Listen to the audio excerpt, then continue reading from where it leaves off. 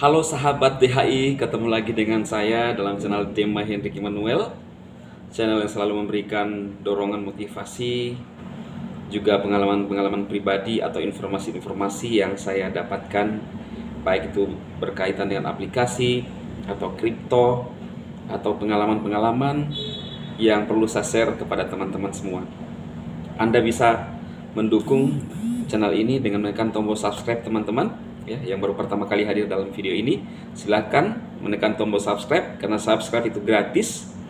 Dan jangan lupa tekan loncengnya agar anda mendapatkan notifikasi setiap kali saya mengupload video baru di YouTube ya. Dan jangan lupa berikan komen yang positif karena kita seharusnya memberikan support yang positif dan saling membangun teman-teman Nah, kali ini saya akan memberikan informasi berhubungan dengan dunia kripto, dunia perkriptoan ya. Berapa berapa tahun belakangan ini kripto sampai sekarang kripto menjadi bahan perbincangan ya yang lagi tren sekarang, teman-teman. Nah, uh, kripto mendapat tanggapan dari berbagai negara bahkan berbagai kalangan. Ada yang suka, ada yang tidak, ada yang suka, ada yang tidak. Tetapi menurut saya, kripto adalah sesuatu yang digemari oleh masyarakat bahkan penduduk dunia, teman-teman. Terkait info kripto hari ini adalah dikutip dari genpi.co, Iran beri info menyejut, menyejukkan buat pencip, pencinta kripto. Ya, jadi Iran memberi info menyejukkan, menyejukkan info yang bagus. Ya, buat orang yang menyukai kripto. Apa infonya, teman-teman? Nah, Pemerintah Iran berbalik sikap soal penambangan aset digital di negaranya.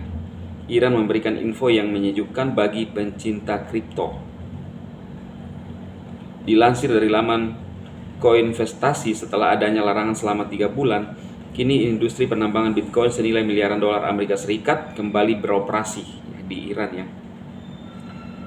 Namun pemerintah Iran hanya memberi izin pada penambangan kripto yang telah berlisensi Perintah larangan dipicu kekhawatiran atas stabilitas jaringan listrik di Iran yang tidak dapat diandalkan.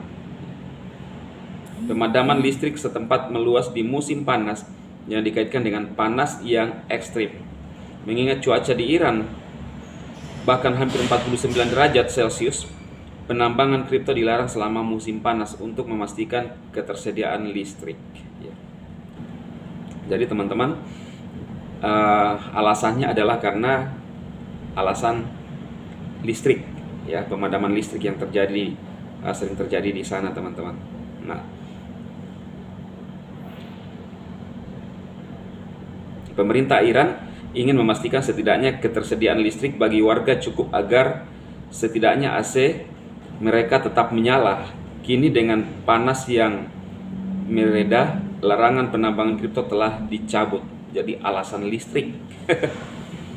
Seperti diketahui, diperkirakan 4,5% hingga 7% dari penambangan kripto dunia dilakukan di Iran. Wow, saya baru tahu juga ya. Ternyata Iran itu adalah uh, pencipta kripto ya teman-teman. 4,5% hingga 7% penambangan kripto di dunia dilakukan di Iran. Jadi Iran lumayan terbesar ya kapan Indonesia ya teman-teman. Semoga informasi ini memberikan uh, kesejukan buat teman-teman yang menyukai kripto, yang suka menambang, dan saya pun sendiri uh, tetap dalam tahap belajar, proses belajar. Intinya dalam kehidupan itu kita terus belajar dan belajar.